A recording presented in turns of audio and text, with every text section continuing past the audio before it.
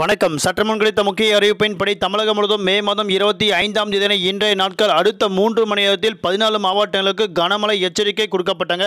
அது என்ன மாவட்டங்கள் என்ன முக்கியமான அறிவிப்புகள்? இளமை இப்போ நம்ம பிரீஃபாக பார்த்தலாம் மறக்காம ஸ்கிப் பண்ணாமல் பாருங்க. உங்களுக்கு மழை பற்றி பல்வேறு முக்கிய அறிவிப்புகள் உடனுக்குடன் துல்லியமாக தெரிந்து கொள்ள நம்மளோட சேனலை கீழே இருக்க ரெக்க பட்டனை கிளிக் பண்ணி சப்ஸ்கிரைப் பண்ணிக்கோ பக்கத்தில் பில் பட்டனை கிளிக் பண்ணிக்கோ இந்த வீடியோ பிடிச்சிருந்தா லைக் பண்ணுங்க. இப்போ வாங்க வீடியோக்குள் போகலாம். தமிழகத்தில் இன்றைய நாட்கள் பதினாலு மாவட்டங்களுக்கு கனமழை எச்சரிக்கை விடுக்கப்பட்டுள்ளது. சென்னை வானிலை ஆய்வு மையம்.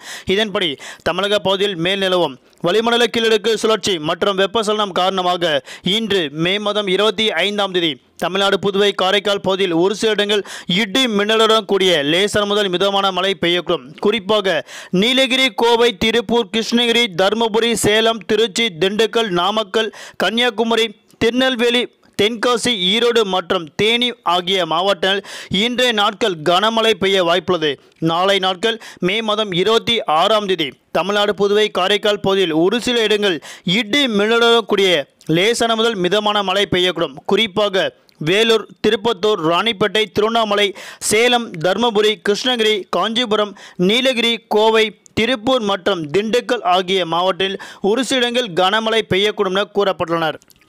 நாளை மறுநாள் மே மாதம் இருபத்தி ஏழாம் தேதி தமிழ்நாடு புதுவை காரைக்கால் பகுதியில் ஒரு சில இடங்கள் லேசர் முதல் மிதமான மழை பெய்யக்கூடும். வருகிற மே மாதம் இருபத்தி எட்டு மற்றும் இருபத்தி ஒன்பது ஆகிய தேதியில் தமிழகத்தில் லேசான மழை பெய்யக்கூடும் கூறப்பட்டுள்ளது. சென்னையை பொறுத்தவரை அடுத்த நாற்பத்தெட்டு மணி நேரத்திற்கு வானம் பொதுவாக மேகமூட்டத்துடன் காணப்படும். நகரின் ஒரு சில பகுதியில் லேசன் முதல் மிதமான மழை பெய்யக்கூடும். அதிகபட்ச வெப்பநிலை முப்பத்தி ஒன்பது முதல் நாற்பது வரை. குறைந்தபட்ச வெப்பநிலை இருபத்தி ஒன்பது டிகிரி செல்சியஸ் இருக்கக்கூடும் என தெரிவிக்கப்பட்டுள்ளது.